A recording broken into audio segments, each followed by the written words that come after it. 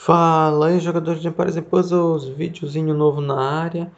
Daqui dois dias vai abrir a nova Valhalla aí do mês de agosto. E aí eu vou trazer essa série de vídeos aqui que eu decidi dividir em várias partes, porque tem muito herói de Valhalla, então tem muita coisa para falar. Então vou começar falando pelos de 3 estrelas, por esses 5 aqui. Amanhã eu lanço a parte 2 dele. Uh, que é Agnes, né? Unwinder, Bjorn, Beowulf e Endan. Bora ver o que dá para falar deles aí.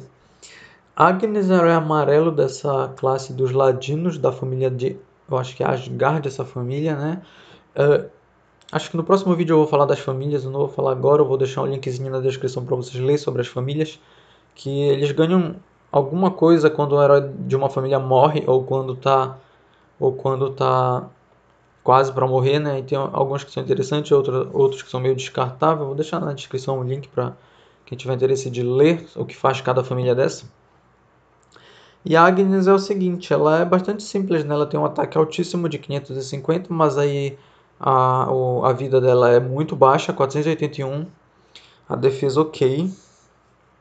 Ela vai dar 320 de dano no alvo e tem 60% de chance dela ignorar reforço defensivo e isso inclui contra-ataque, carregamento de mana rápido. A porrada dela é bastante forte, é mais forte que a do Bane, mais forte que a do Baltazar, então a porrada dela é muito forte. O problema é que ela é muito frágil, né? Colocar ela para lutar, pode ser que alguém caste um, o próprio Baltazar em cima dela, ela morra só com uma porrada ou então fica na beira da morte.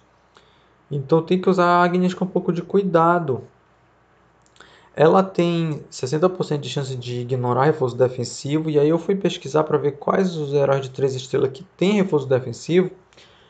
E são esses quatro aqui só. Arbusto, Beowulf, Gunnar e Kailane. Porque, obviamente, não vai usar Agnes para lutar contra o herói de 4 nem herói de 5, né? Então não faz muito sentido ficar tentando imaginar ela ignorando o reforço defensivo tipo de um Cipriano, né? Porque a gente não vai usar ela para bater no Cipriano. Mas ela ia ignorar, né? Se levasse. 60% de chance, né? Qual que é o problema? O problema é que o arbusto é verde, então se a gente vai lutar contra um arbusto, a gente não vai levar amarelo, a gente vai lutar, a gente vai levar vermelho. Beowulf é verde, a gente vai levar vermelho. Gunnar é azul, se a gente for lutar contra Gunnar é bom a gente levar verde. E Kailane é amarelo, então a gente não quer levar herói amarelo para bater na Kailane, a gente vai levar herói roxo. Então até, até no que podia dar certo da Agnes, não, não vale muito a pena levar ela só por causa disso, né? A não ser que seja aqueles casos onde, por exemplo, a gente está com o Gonad Central e não dá para e e o torneio, por exemplo, o torneio não deixa usar herói verde. Aí não dá para levar herói verde, você leva vários roxo ou vários amarelo. E aí dá para levar Agnes junto com esses amarelos para tentar é, furar essa, essa defesa do Gunnar, né? É, para os outros a mesma coisa, né? Quando não, tem um arbusto lá e não pode usar é, não pode usar vermelho, até dá para levar uma Agnes. Mas eu acho que ela é melhor. A grande utilidade dela é deixar a pedra amarela forte e isso é bom para os torneios, para os eventos de desafio, né? Principalmente o que tem muita monstro roxo, como é o caso de Piratas de Corélia. Então acho que a utilidade dela é mais para isso. Assim, se você tem uma Agnes, só se tem só ela, acho que vale a pena upar, porque tem vários amarelos que eu acho mais legal que ela. Tipo, a Melie, o próprio Bane é melhor que ela. O Bane é o que todo mundo tem, né? Uh, deixa eu ver outros. Pixie. Cavazi, que a gente vai já ver, falar dele nos próximos vídeos. Então acho que a Agnes aí tem vários heróis mais legais de estar upando amarelo do que ela. Porque é muito arriscado levar ela, tipo, por, exemplo, um torneio de mana muito rápida as coisas acontecem muito rápido, né? Então os heróis ativam muito rápido. Então vão bater nela com um monte de skill, ela não vai aguentar. Então a melhor modalidade de levar ela pro torneio é nos dois outros, né? Mas no torneio de batalha sangrenta não dá para curar, então bater nesse HP dela aqui é encaminhar ela pra morte. Então acho que tem vários amarelos melhor para estar upando do que a Agnes. Aí agora a gente tem o Unwider, que é um roxo, né? O Winder, ele é um herói que, de carregamento de mana lento, que é bem ruim, porque essa habilidade dele aqui não é um grande, uma grande coisa assim que justifique ser lento. Bora ver o que ele faz aqui. Ele vai dar, depois que ele casta, né, ele dá 45% de ataque para ele e ele vai ganhar 20%, 20 adicional toda vez que ele ou qualquer aliado dele receber alguma porrada. Você joga três pedras em cima dele, esses 20 se transformam em 60, né? Né? Que são três pedras, vão bater, aí vai somando esse buff de ataque. Então a, porra, é, a porrada dele quando ele tá na defesa, quando ele dá aquele hit, né? Se ele tiver esse bônus aqui, vai ser bastante forte. Mas ele faz mais coisas, olha. Esse buff dura 4 turnos. No final desses 4 turnos, ele vai castar uma habilidade. É, um, ele vai dar uma porrada né, de 164% em todo mundo, todos os inimigos dele. Só que esse 164% é igual ao buff dele. Ele pode aumentar dependendo de quanta porrada ele, ele receber durante esses quatro turnos. Então diz aí, ó, cada hit que ele ou que os aliados dele recebem durante a duração do buff vai acrescentar para ele mais 10% até um máximo de 288% de dano dessa habilidade. Então, se ele ativar e você jogar muita pedra nele, quando ele ativar, quando, depois de 4 turnos, ele vai dar uma porrada muito forte, de 288 até o máximo. Então é uma porrada que vai arregaçar com o seu time, mas o problema, que seria bom em teoria, o problema é que ele só vai fazer isso depois de 4 turnos de, de ter usado habilidade. Pode ser que depois de 4 turnos de ter usado habilidade, ele não sobreviva, né? Porque já é um herói lento, já demora para castar. Depois de castar, ele tem que esperar mais 4 turnos para ele usar essa. Pra ele dar essa porrada em todo mundo. Então, em circunstâncias normais, não acho ele muito bom não. Ele vai ser bom no torneio de mana muito rápido, porque lá, como carrega rápido, e aí já é bem interessante. Ou no torneio de impulsionador de reforço, um pouco também, porque esses 45% de ataque que ele recebe é um reforço. E aí vai aumentar com o bônus na modalidade do torneio, né? Então é um herói que fica ali meio que na média, da média para baixo. Tem vários roxos mais interessantes da upando, né? O próprio Baltazar, Tyron e o outro que eu vou falar agora. Então, acho que se você ganhou ele aí, tem herói roxo mais legal para upar. Por exemplo, esse aqui, Bjorn. É um herói, um viking, né? Um herói, assim, essa carta que eu peguei aqui, ela não estava upada, né? Só achei essa, mas eu botei aqui, ó. Então ele vai ter 453 de ataque, 331 de defesa, 816 de, de vida, altíssima nessa vida. Perão de 3 estrelas, eu fico impressionado com, esse, com esses status desses heróis de, de Valhalla. Muito alto o status, de, status deles. Herói de mana médio, né? E ali também não está atualizado. Então eu vou ler para vocês, porque isso aqui é quando ele está no nível 1, né? Ele está no level 7, na verdade, né? Nível 1 da habilidade, então é isso aqui, né? Mas é maior que isso, no level máximo, né? O Bjorn vai causar 200% de dano no alvo e 350 de dano a um inimigo aleatório diferente. Causará dano extra se o alvo for de luz. Então o Bjorn vai, é, vai atingir um alvo com uma porrada mais fraca, né, de 200%, e aleatoriamente ele vai dar outra porrada em outro, em outra, em outro e outro inimigo com uma porrada mais forte, né, de 350 e vai dar dano extra se for se essa porrada pegar em alguém de luz, que luz é o herói amarelo, né? Então Bjorn é um dos melhores roxos do jogo, eu tenho ele, mas ainda não consegui upar. A fila de herói tá, tá, tão grande que ainda não consegui upar ele, mas assim que eu tiver um tempinho vou upar, porque eu preciso muito de um bom roxo. Meu time roxo de 3 estrelas é muito ruim. Tem, pra vocês terem uma ideia, tem Baltazar e Prisca, então só. Então, muito ruim, né? A Prisca é horrível. O Baltazar é bom. Então, seria muito bom vocês uparem, quem pegou ele, para estar tá fazendo não só os torneios, mas, mas, os eventos de desafio também, porque ele bate forte em, em Pedra Roxa, principalmente em, é, no evento que tem muito a Pedra é, Monstro Amarelo, que é o evento Guardiões de Teotok. Uh, e assim, só que eu acho que tem que tomar um pouco de cuidado como vocês vão usar o Bjorn ele tem que ser usado. Você vai atacar o alvo que você, você tem que ter a ciência de que o, o seu alvo você vai bater menos nele, vai bater mais no segundo ataque. Então, por exemplo, se você tem lá uma Falcoluna quase para morrer e tem um Bane com HP cheio, você não vai mirar no Bane, você vai mirar na Falcoluna, porque o dano que vai dar nela é menor e aí já mata ela mesmo. E o segundo dano é mais forte, aí pega no, no, no Bane, que é o Bane é amarelo, né? Então vai tirar dano extra dele.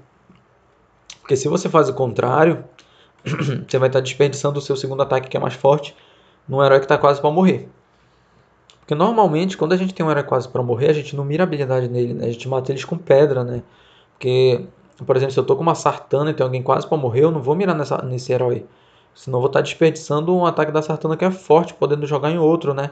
A não ser que esse herói esteja à beira de, de carregar habilidade. Aí não, aí eu finalizo ele para ele não, não me causar problema. Mas geralmente a gente, a gente não mira a habilidade em herói que está quase para morrer. Mas no caso do Bjorn, tem que mirar, porque aí ele mata já o que está quase para morrer e dá um segundo dano mais forte em outro. Então o Bjorn tem que tomar esse cuidado e o cuidado de não mirar em herói amarelo. Deixa que a, a, skill aleatória pega no herói amarelo, que aí isso atira mais, né? Então eu gosto bastante dele. Com certeza vou upar, recomendo muito vocês uparem.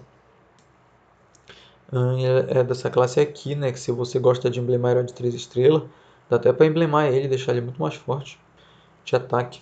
Muito bom para ranquear também. Próximo é o Beowulf. Beowulf é um herói defensivo que ele tem uns buffs muito interessantes. Vai ter bastante HP, 855, bastante def... não, bastante não, defesa na média, né? É, ataque mais ou menos, né, fraco mana média. Então ele vai dar um buff de 48% de ataque para ele para quem está do lado dele. É, para 3, né? Ele para quem está do lado dele. Ele vai dar 46% de defesa também para ele quem está do lado dele. E ele vai regenerar 612 de, de HP durante 4 turnos para ele quem está do lado dele. Então isso aqui é excelente. É excelente. O problema é que por ser muito bom, para equilibrar, depois de 4 turnos ele recebe malhas de status nele mesmo. Então, quando passa 4 turnos, ele vai perder 34% do ataque, vai perder menos 34% de defesa, vai perder menos 24% de geração de mana. Então, meio complicado isso aqui. Mas eu ainda acho que não afeta o quão bom ele é. Eu acho que ele é um herói que fica muito bem de central. É, por exemplo, o Bjorn, ele fica melhor de flanco ou de ponta. Flanco talvez melhor. Mas já o Bayuf ele fica melhor de central ou até de flanco, de ponta não. Mas de central, principalmente no torneio de mana muito rápido, porque ele carrega muito rápido. Principalmente se não der para usar vermelho, é melhor ainda botar ele de central. É... Na verdade, no torneio de mana muito rápido, no torneio de, de impulsionador de reforço, porque isso aqui é reforço. Ele vai dar três reforços, ele vai encher o time dele de ataque no torneio de impulsionador de reforço. Só no Batalha Sangrenta que ele não vai ser bom, porque lá não dá para se curar, né? Então ele não vai ter como curar. Só tem que tomar cuidado para você usar ele de um jeito. Assim, duas dicas, né? Primeiro, saiba quem você vai posicionar do lado dele, né? É interessante que você posicione do lado dele alguém que ajude a acabar com o jogo. Porque se passar quatro turnos, ele vai receber isso aqui negativo, né? Então, posicionando do lado dele, quem faça a diferença. Por exemplo, um Berden. Um Berden, que é outro verde. Berden não. Eu estou falando de defesa, né? Desculpa. Eu estou falando para defender, né? Se ele ele tá de central numa defesa, você vai posicionar do lado dele. Quem vai fazer a diferença de preferência um herói vermelho e um azul. E aí pode ser, por exemplo, uma, um Rudolph do Papai Noel ou Nashgar é, tem um herói que joga muito bem do lado dele, que é o gato. Porque o gato ele tem um, um, uma proteção aqui que ele não deixa que ele, quem está do lado dele, receba malhas de status. Então, se você usa o gato e depois você usa o Beowulf, isso aqui, ele anula isso aqui, isso aqui não vai acontecer se ele tiver com o buff do gato. Então, por exemplo, se aqui fosse uma defesa e ele está de central, bota o gato aqui, aqui você vai botar outro vermelho, né? Se fosse um torneio. Para atacar, essa parceria aqui fica melhor ainda, porque para atacar você, na verdade o gato ele tem que ficar no lado esquerdo, né? O gato tem que ativar antes do Beowulf. É, por via de regra, não vai ser sempre que vai acontecer isso, porque normalmente o central ativa primeiro, né? Por isso que para atacar é melhor de ter esse controle, porque você ataca primeiro com gato, protege o Beowulf, e depois você, você usa a habilidade do Beowulf. E aí ele se protege e não recebe isso aqui. Então ele faz uma parceria muito boa com o gato e do lado dele, se for um central de defesa, se tiver como um central de defesa, você tem que botar algum herói vermelho. É muito bom o Beowulf, se eu pegasse um também eu upava, ainda não peguei. Na verdade eu nem sei, eu acho que eu tenho, será que eu tenho? Acho que não, não. Se eu tenho ele tá no level 0, não sei, eu fiz um monte de convocação na última... Na, em várias Valhalla an anteriores, né? Então, acho que do Beowulf é só isso, né? Se você tem ele e não tem um, algum central melhor, verde, tipo o Arbusto, o Arbusto também é um central ótimo. É bom de upar para defender nos, nos torneios. E a última que é Endan. Endan era vermelho de mana médio, que tem 841 de HP, outro HP altíssimo, incrível isso. Olha, quase o HP do, do tanque, né? Ela, tem, ela é dessa classe dos ladinos também, que dá até para dizer que é um tanque, é quase um tanque, é um tanque. Por esses estados aqui dá até para dizer que é um tanque. Só não tem tanta defesa quanto outros tanques, mas é dá até para botar de central ela, principalmente quando não dá para usar azul no torneio. Mana médio que vai bater 220 de dano no alvo e nos inimigos próximos desse alvo. Então ela bate 220% de dano em 3 alvos. E ela vai retardar o ganho de mana deles em menos 24%. Isso aqui é ótimo, é muito bom ter heróis que retardam o ganho de mana. Muito estratégico ter um herói desse assim no seu time vermelho de 3 estrelas. Ela serve tanto para os eventos de, de desafio quanto para os torneios, né? vai ser boa nas, em todas as modalidades, porque ela é um herói bom. E não tem nada que comprometa aqui para ela não ser boa, por exemplo, na Batalha Sangrenta. Uh, ela faz uma parceria muito boa com a Falcoluna de Traje, porque ela vai ganhar ataque. Faz uma parceria muito boa com o Balchan, porque o Balchan dá aceleração de mana. Então, herói vermelho é muito bom, eu, eu tenho ela também, mas ainda não consegui upar. Mas também o meu time vermelho já tem muito herói, então ela nem está fazendo falta, digamos assim. Mas vou querer upar também ela. Então, não tem muito mais o que falar. Recomendo muito para a Endan. Ela é boa também para ranquear porque ela bate em 3, então sempre ajuda. Como eu disse, junto com a Falcoluna, né? É, galera, o vídeo de hoje foi isso. Vou estar tá lançando os, os, outros nos próximos dias aí. Se você quer saber se vale a pena upar, é, upar não, é, convocar em Valhalla, tem vídeo no canal sobre qual o melhor mês para estar tá convocando em Valhalla. Eu vou deixar também na descrição do vídeo para ficar mais fácil. Vocês só clicam e vão lá pro vídeo. É, obrigado por ter assistido, dê um like nesse vídeo. Quem ainda não foi inscrito, dê essa força assim, inscrevendo e até mais.